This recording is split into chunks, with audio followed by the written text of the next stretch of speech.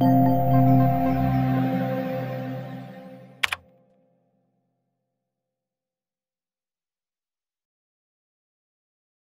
CLL cells really need the microenvironment in order to grow and for the disease to progress. So it has become very clear during this year that many subpopulations in the microenvironment make a difference in terms of uh, uh, tumor progression.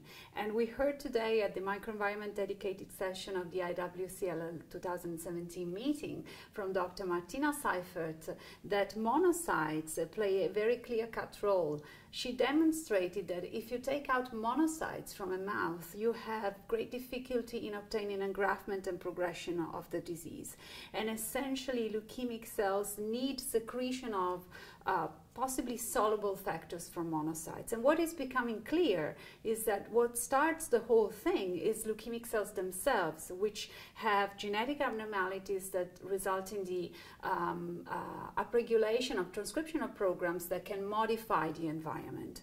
Monocytes, but not only monocytes. I think T cells also play a very important role in this context, as it is, it is becoming very clear that without T cell support, CLL cells do not engraft. For example, you cannot transfer the disease in immunocompromised mice. Notch1 is the uh, single most recurrently mutated gene in CLL patients and it has been shown that the uh, representation of the mutations actually increases as the disease progresses. So about uh, uh, one patient in 10 will carry Notch1 mutations at diagnosis, but that increases to one in five when the disease becomes resistant to therapy, and one in three in the, in the cases that transform into Richter's syndrome. So this is telling us that there is an oncogenic role for Notch1.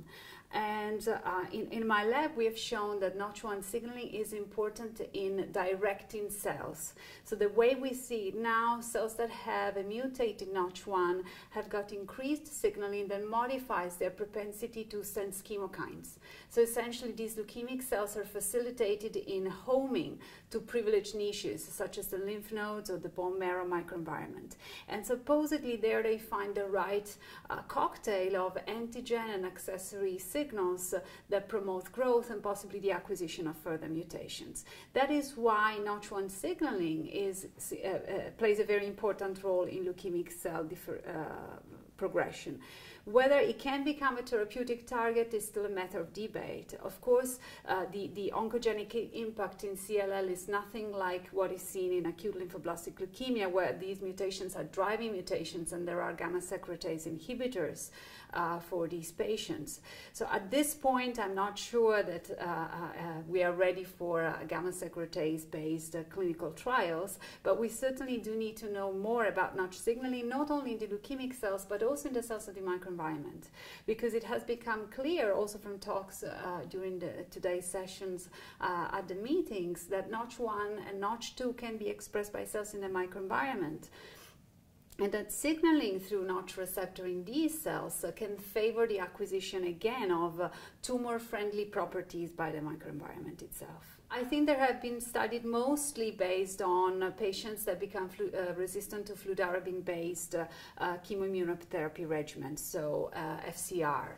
Uh, and there have also been reports that patients with NOTCH1 uh, mutations actually respond less well to anti-CD20 uh, based uh, therapy regimens. In general, if you look at Kaplan-Meier survival curves, patients that have NOTCH1 mutations perform worse from, the, from the standpoint of time to first treatment and also from the standpoint of overall survival. Do we need clinical trials to ascertain this. I think the best bet would be the PD-1, PD-L1 system, which where we have already significant knowledge in solid tumors and also in other hematological malignancies. So probably the the the, the first trials will will uh, involve the use of PD-1, PD-L1 antibodies together with drugs that possibly target directly the leukemic cells. So I think that the best trials would be a combination of something that blocks leukemic cell proliferation or induces leukemic cell apoptosis such as a BCL2 inhibitor or a BTK inhibitor, together with drugs that make the environment unfriendly, so that uh, uh, make uh, T cells and myeloid cells uh, um, un unresponsive or uh, unsupportive of, of tumor growth. One of them might be the PD-1, PD-L1 system, the other might be lenalidomide, for which there is already significant experience and it has been used in clinical trials. So possibly the restoration of T cell uh, immune responses and immune competence will be uh, uh, the first uh, area that we will explore. Um, the monocyte uh, area that we heard a lot about today is, is probably a step behind in terms of the setup of clinical trials.